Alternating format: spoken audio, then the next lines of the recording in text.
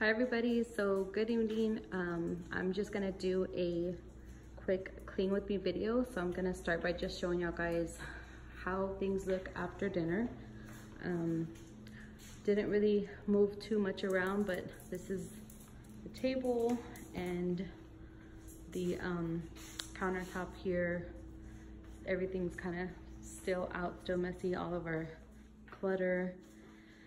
And um, pots and pans still dirty. So anyways, um, all right, so we're just gonna go ahead and get started here. I'm gonna start off by loading the dishwasher and see how far, or see how long this takes me. Hopefully not too long. I'm, I'm gonna put a little timer on for about 15 minutes because that's all I wanna allow myself, so. All right, here we go.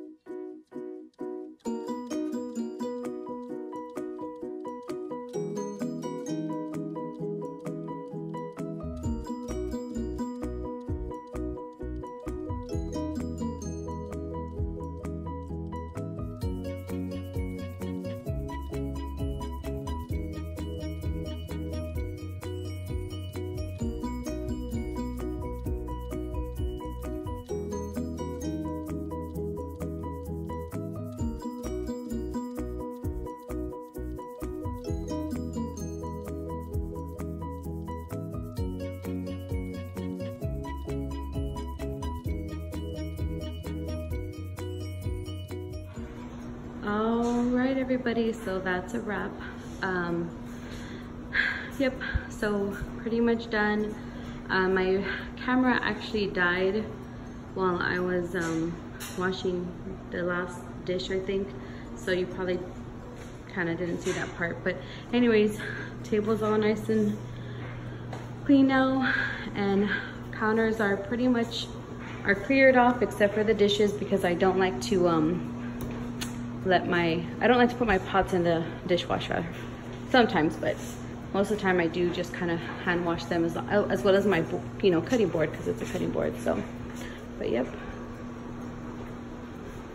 That is actually agua, but for some odd reason, it comes out like a blue in, on camera. I don't know why, but it does. So.